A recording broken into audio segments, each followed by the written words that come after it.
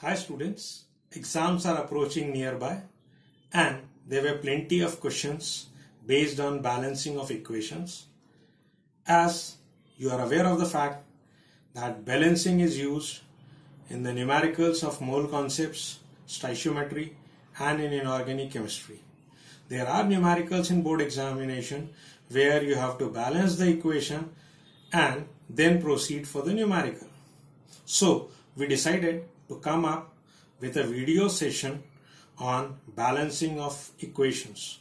All the equations which are given to you in the board examinations are redox reactions having half oxidation and half reduction reactions. These reactions can be very comfortably and readily solved by the concept of oxidation and reduction. Oxidation is nothing but addition of oxygen, removal of hydrogen, removal of electron and increase in oxidation number. Similarly, reduction is removal of oxygen, addition of hydrogen, addition of electron and decrease in oxidation number of the element. As there was doubt in one of the reactions for balancing, a student has asked for a reaction and that reaction was acidified KMnO4 converts ferrous sulfate to ferric sulfate. Now writing the equation for it, KMnO4 plus H2SO4 plus FeSO4 gives K2SO4 plus MnSO4 plus Fe2SO4 whole thrice plus H2. Now in this reaction, since this reaction has two parts, oxidation and reduction, we have to first of all segregate this equation into oxidation and reduction.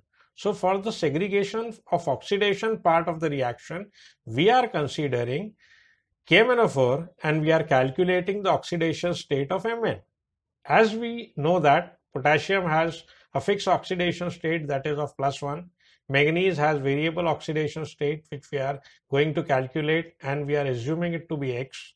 Oxygen is fixed minus 2 and 4 atoms of oxygen are there into this molecule hence plus 1 plus x minus 2 into 4 is equal to 0. So plus 1 plus x minus 8 is 0 and x becomes equal to 7. Now here manganese is showing the oxidation state in KMnO4 as plus 7. Now we are calculating the oxidation state of manganese in MnSO4. In MnSO4 only two ions are there. Sulfate is minus 2. So assuming Mn to be X, reaction is X minus 2 is equal to 0 and X becomes equal to 2.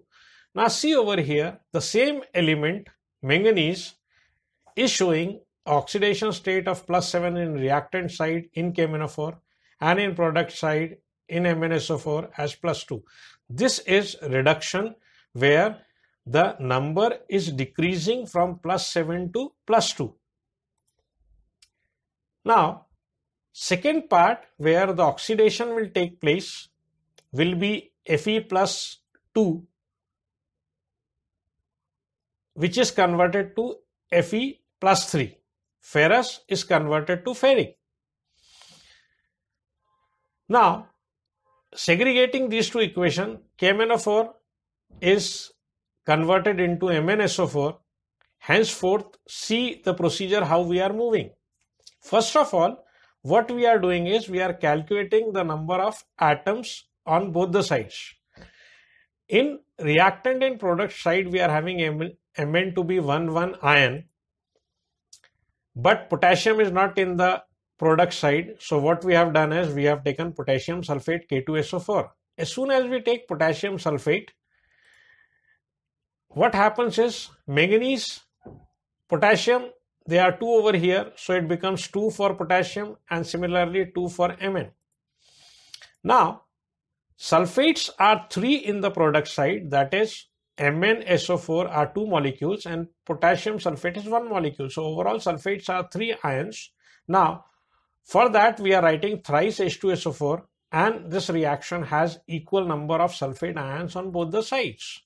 As soon as we have added sulfuric acid, in the product side we have to form water and this also will be three molecules.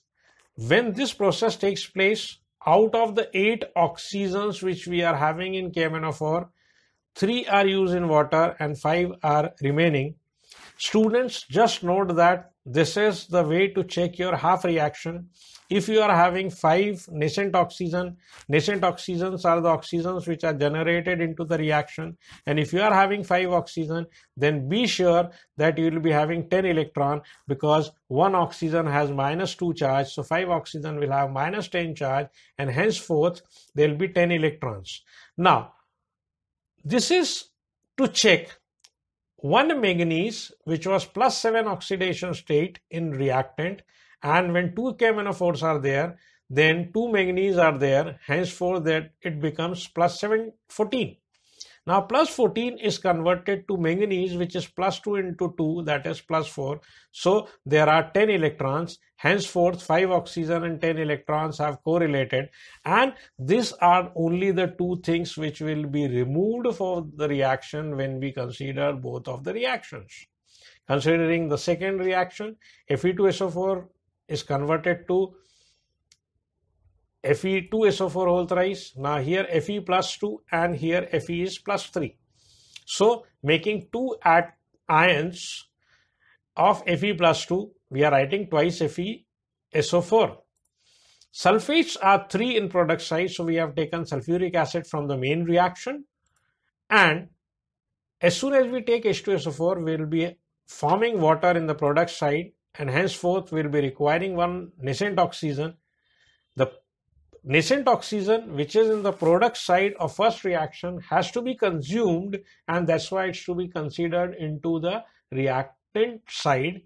And Fe which was in plus 2 state is converted to plus 3 state that is removal of one electron. But since two Fe plus 2s are there which are converted to two Fe plus 3s so two electrons will be removed. And now, as I told you that oxygens are to be cancelled and the electrons are to be cancelled, this is the only parameter on which the reactions are balanced. So when we are having 10 electrons in the first reaction and 2 electrons in the second reaction, we have to multiply the second equation by 5. So when we multiply it, we get the overall reaction as twice KMnO4 plus H2, 8 H2SO4 plus 10 FeSO4 gives K2SO4 plus twice MnSO4 plus 5 Fe2SO4 whole thrice plus 8 H2O. Now here 2 potassium, here also 2 potassium. Manganese are 2 in reactant side, manganese are 2 in the product side. Oxygen are 8 in KMnO4 while oxygen are 8 in water. In sulfate, 8 sulfates in H2SO4 and 10 in FeSO4 becomes total 18. Here in product side, sulfate of K2SO4 1, MnSO4 2 plus 5 into 3 15. So 15 plus 2 17 plus 1 18. So 18 on both the side.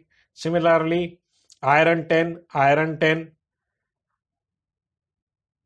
This overall reaction is now balanced and this is only the beauty of the reaction that when we calculate the number of atoms after balancing with the electrons and nascent oxygen, the reaction becomes totally balanced.